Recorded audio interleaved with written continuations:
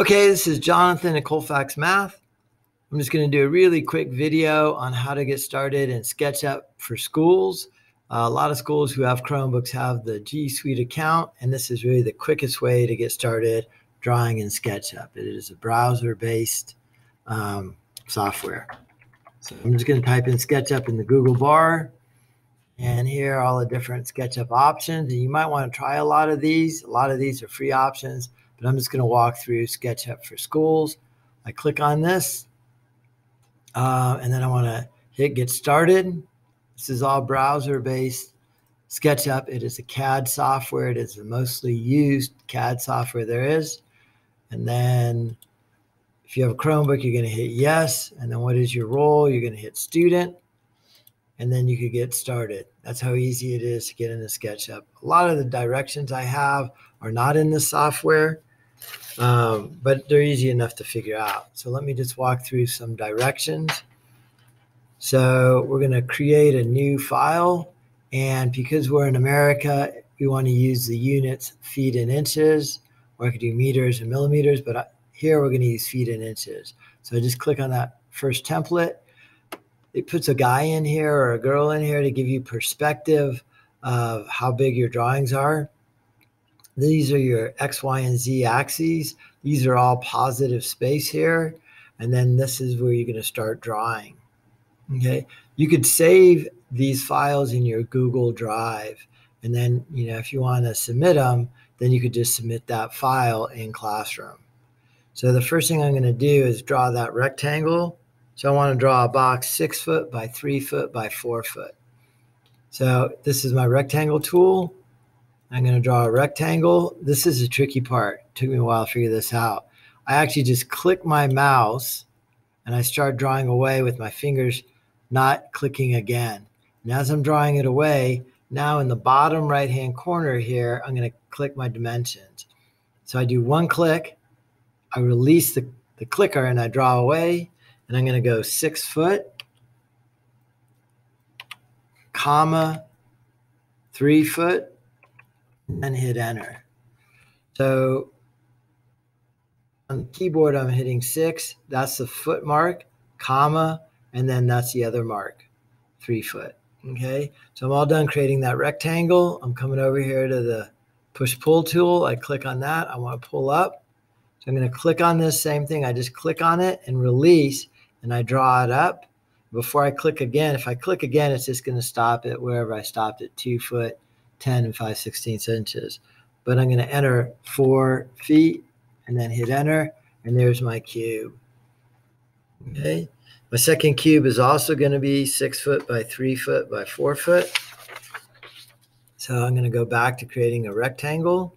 I'm going to click here, drag it over, enter six foot, comma three foot, enter. I'm done drawing. I'm going to extrude it or push pull. I click on here once and I draw it up another four feet, enter. Okay, I want to go back to drawing a rectangle.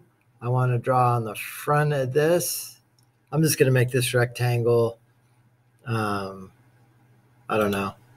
I, I don't like just clicking because then it's always impossible to go back. So I do like to go to, you know, even increment. So let's say I make this five foot, comma, three foot, enter.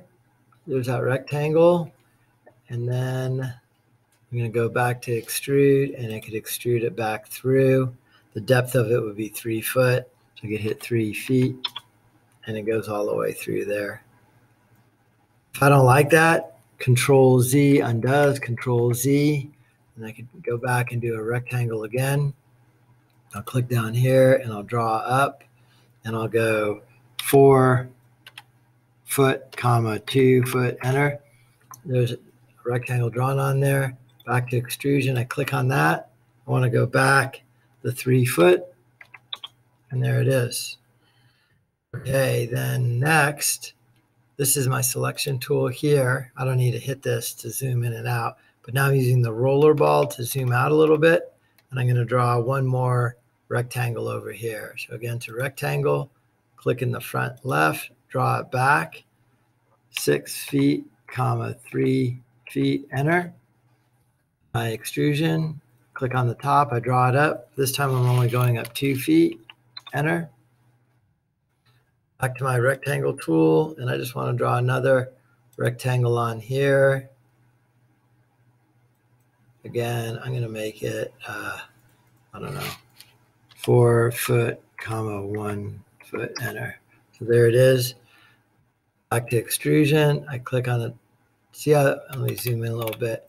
Here, this would extrude this whole big face up, but I only want to extrude that up. So I'm going to draw that up.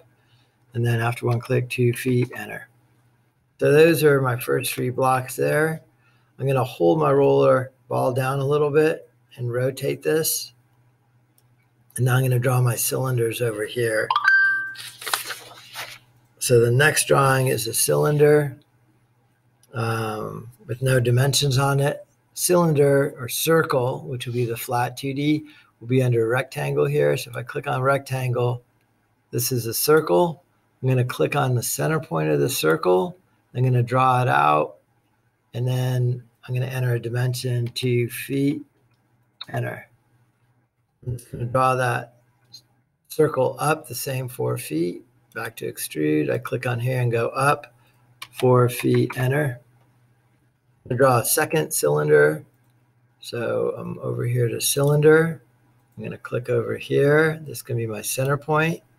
I'll go out two feet again, enter, extrude it up. Keystrokes are actually a better way. but I'm going to extrude it up the same four feet. Back to circle, I'll click the center here and draw it out, say one foot. And I'm going to pull this back through. So back to my extrusion tool. I'm going to click on that and I want to pull it down four feet, enter. What do we have? And then a cylinder stacked on a cylinder. So back to circle. I'm going to click over here for the center of it and call it two feet, enter.